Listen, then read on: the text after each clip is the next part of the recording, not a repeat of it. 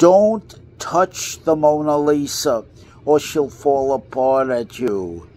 It's just a fantasy. It's just a dream. Don't touch the Mona Lisa. It's she's an object of distantile beauty, and that's all. It's in your mind. The fantasy's in your mind. That's all. It's the work of art. Not to be practicalized. As soon as you touch the Mona Lisa, the work of art is destroyed. It becomes mundane. You put the Mona Lisa in the street, in the gutter, and she disintegrates. The beauty is gone. The reverie is gone. It's all a fantasy.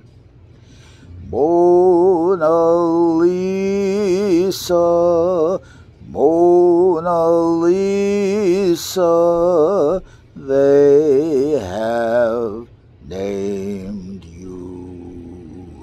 you. You're so like the lady with a mystic smile. Is it only cause you're lonely? They have blamed you for your Mona Lisa sadness, strangeness in your smile. Do you smile to tempt a lover, Lisa?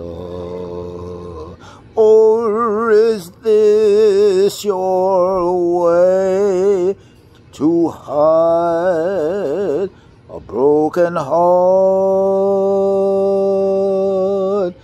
So many dreams have been left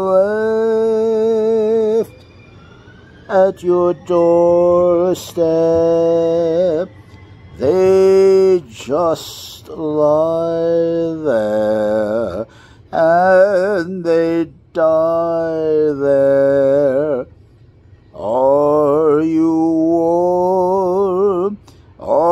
you real, Mona Lisa or just a cold, lonely, lovely work of art?